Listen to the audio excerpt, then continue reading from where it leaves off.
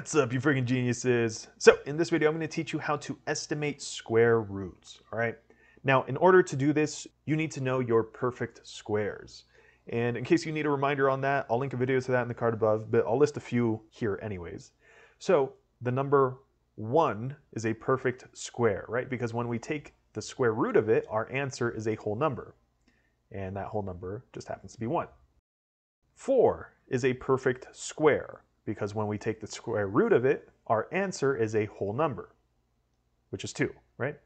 Same thing with square root of 9 is 3, square root of 16 is 4, right? And we could just keep going on forever. So if you memorize your perfect squares, it's going to make this topic a lot easier. So if I asked you to estimate the square root of 7, what would your answer be? Now, I don't know what the square root of 7 is, but I do know some square roots that are pretty close to it. Okay, so I have 7, so 4 is pretty close to it, right? What is the square root of 4? Well, that's equal to 2.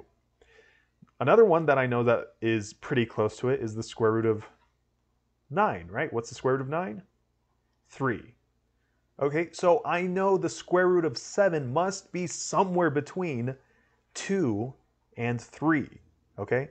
So if I was trying to estimate what the square root of 7 is, I would say it's somewhere between 2 and 3, okay? And if you wanted to get any more accurate than that, you'd probably have to use a calculator, okay? So if I actually plugged this into a calculator, the square root of 7, you'd find that the answer is approximately 2.6, okay? So as you can see, your answer right here is between, right, 2.6 is between 2 and 3. Okay, so for my answer, I would simply say the square root of 7 is greater than 2, right? But it's less than 3, right?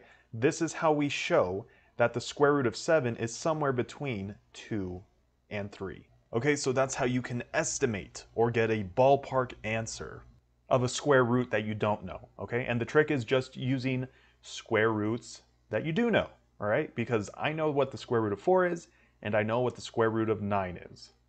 Okay, so let's do a couple more examples using this same kind of thought process, and then I think it's going to start making a little bit more sense.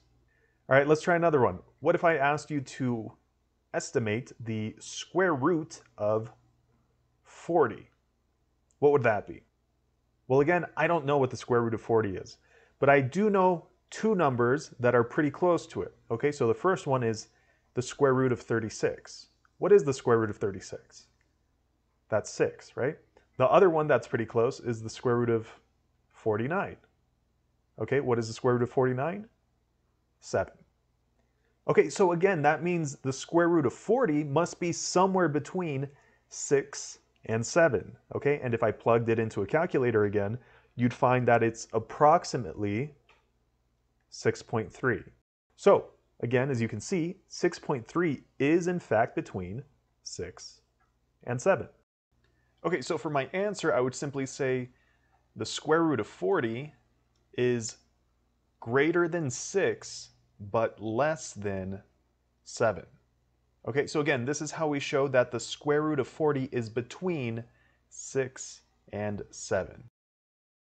Okay, and let's do one more example. And let's say this is a number that you weren't really sure about. That, that's a lot bigger that you're not really sure about. Okay, so let's say it was a square root of 151. Now, the only square root that I know off the top of my head that's near 151 would be the square root of 144. Okay, what is the square root of 144? Well, it would be 12.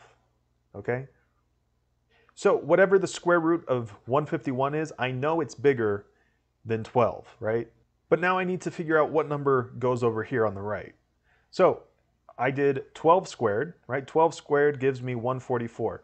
So the next whole number I could try is 13, okay? And square that. So what is 13 squared? Well, let's solve that off to the side right here. What's 13 times 13? Well, 3 times 3 is 9, and then 3 times 1 is 3. Okay, I'll put a 0 there, cross that out. And then 1 times 3 is 3, and then 1 times 1 is 1. Okay, so then I got my two numbers. You just add them up. 9 plus 0 is 9. 3 plus 3 is 6. And then we just have a 1 right here. Okay, so 13 squared is equal to 169. Or in other words, we could say the square root of 169 is equal to 13. Okay, so the square root of 169 is equal to 13. Okay, so what does that tell me? Well, it tells me that since 151 is between 144 and 169, that means the square root of 151 must be somewhere between 12 and 13, okay? And if you did plug this into a calculator, the square root of 151, you'd find that your answer is approximately 12.3, okay? So as you can see, 12.3 is in fact between 12 and 13. Okay, so again, I would say that the square root of 151 is greater than 12, okay, but it's less than 13. So that is how you estimate square roots. So I hope these examples were helpful. If they were, definitely leave a thumbs up down below. And if you still have any questions or want to see any other examples, just let me know in the comment section below, and I'll do my best to try and help you out. There's also a playlist attached at the end of the video, so if there's any other topics you need help with, including more things with square roots and radicals, definitely go check those out, and I'll see you there.